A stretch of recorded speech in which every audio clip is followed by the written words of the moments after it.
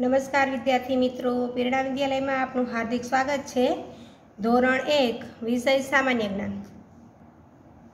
એમાં ચેપ્ટર એક, આપણી આસપાસ. ચેપ્ટર એક, આપણી આસપાસ. આજે આપણી આસપાસ, એટલે કે આપણી આસપાસના જે કંઈ સ્થળો ઘરની આજુબાજુમાં આવેલા છે, તેના વિશે આપણે થોડો અભ્યાસ કરીશું. આ ચિત્રમાં તમે જુઓ છો, પ્રાથમિક શાળા, રાષ્ટ્રધ્વજ, મંદિર ઘર, ઊંટ, ખેડૂત, પતંગ, ગાય, ફુગ્ગાવાળો, ઝાડ અને બાળકો. આ જે કંઈ ચિત્રો આપેલા છે તે આપણી ઘરની આજુબાજુ એટલે કે જે કોઈ દવાખાનું આવેલું હોય, કોઈ પ્રાથમિક શાળા આવેલી હોય, કોઈ મંદિર આવેલું હોય, એનું ચિત્ર છે. આના વિશે આપણે આગળના સવાલ જવાબ જે કંઈ છે એનો જવાબ આપવાનો છે. હવે છે એકમ કસોટી એક.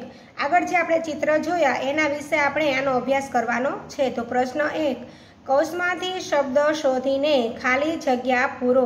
અહીંયા તમને અમુક ખાલી જગ્યાઓ આપેલી છે અને એની બાજુમાં કૌંસમાં બે વિકલ્પો આપેલા છે. એમાંથી જે સાચો વિકલ્પ હોય એ તમારે ખાલી જગ્યાની અંદર લખવાનો છે.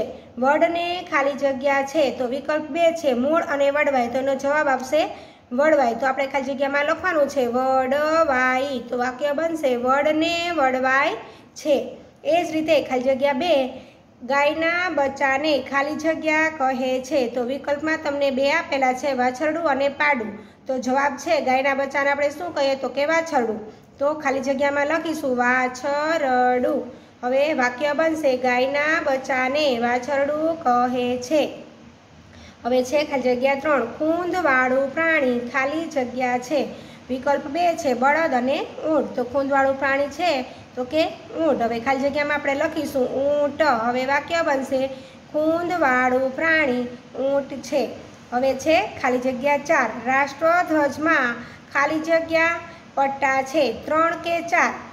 તો વિકલ્પની અંદર ત્રણ અને ચાર બે લખેલા છે. તો આપણે રાષ્ટ્રધ્વજની અંદર ત્રણ રંગના પટ્ટા છે. તો જવાબમાં લખીશું ત્રણ. હવે વાક્ય બનશે રાષ્ટ્રધ્વજમાં રંગના ત્રણ પટ્ટા છે. હવે ખાલી જગ્યા પાંચ.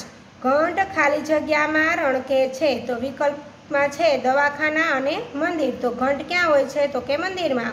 તો જવાબમાં મંદિર. હવે વાક્ય બને છે ઘંટ મંદિરમાં રણકે છે. હવે ખાલી જગ્યા છ.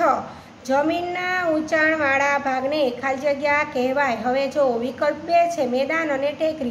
જે મેદાન હોય એ સપાટ હોય છે અને ટેકરીનો ભાગ ઊંચો હોય તો જવાબમાં ટેકરી. અહીંયા લખીશું ટેકરી. હવે વાક્ય બનશે, જમીનના ઊંચાણવાળા ભાગને ટેકરી કહેવાય.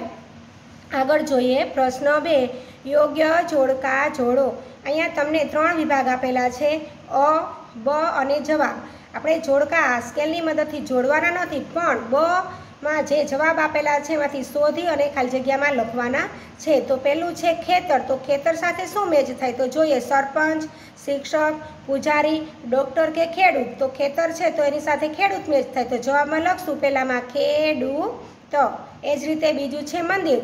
તો મંદિરમાં પૂજારી, તો જવાબમાં લખશું પૂજારી.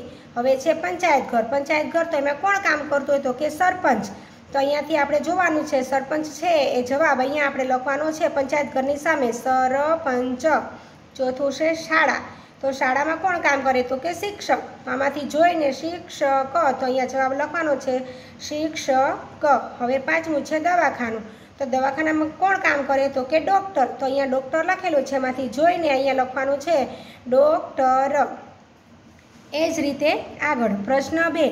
નીચેનું વાક્ય ખરું હોય તો ચોરસમાં ખરાની નિશાની કરો અને ખોટું હોય તો ચોરસમાં ખોટાની નિશાની કરો. હવે અમુક વાક્ય આપેલા છે, એ આપણે જોઈ અને ખરું કે ખોટું એવી નિશાની કરવાની છે.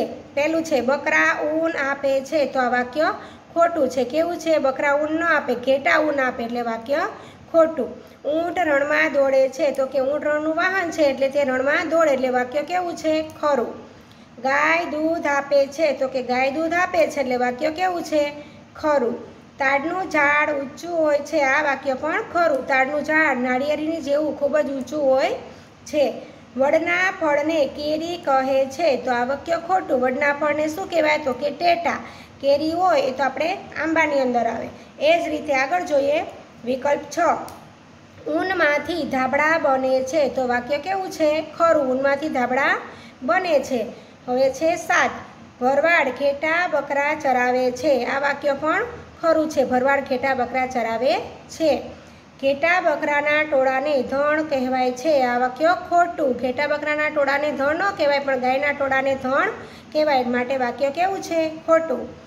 હવે છે નવ. ફિરકી ખેતી કામમાં ઉપયોગી સાધન છે.